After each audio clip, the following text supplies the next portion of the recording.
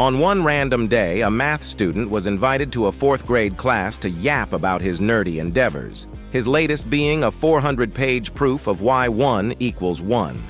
Amidst the lecture, a bold voice from the back queried, Are you a nerd because you are a math student or are you a math student because you are a nerd? Perturbed by this impertinent remark, the math student promptly challenged the fourth grader to an integration bee. Unaware of the complexities of an integral, the fourth grader boldly accepts the challenge, driven by the naive audacity characteristic of their age.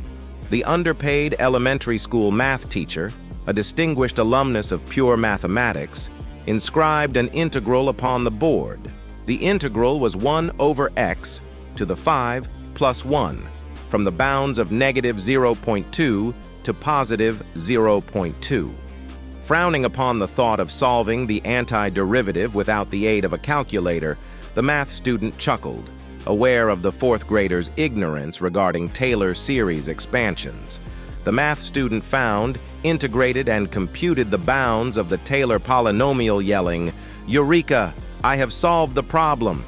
However, as he turned 90 degrees to his left and triumphantly unveiled his solution using the series, he was aghast to find the correct answer already inscribed on the board, the fourth grader now idly scrolling through TikTok, a victim of his fleeting attention span.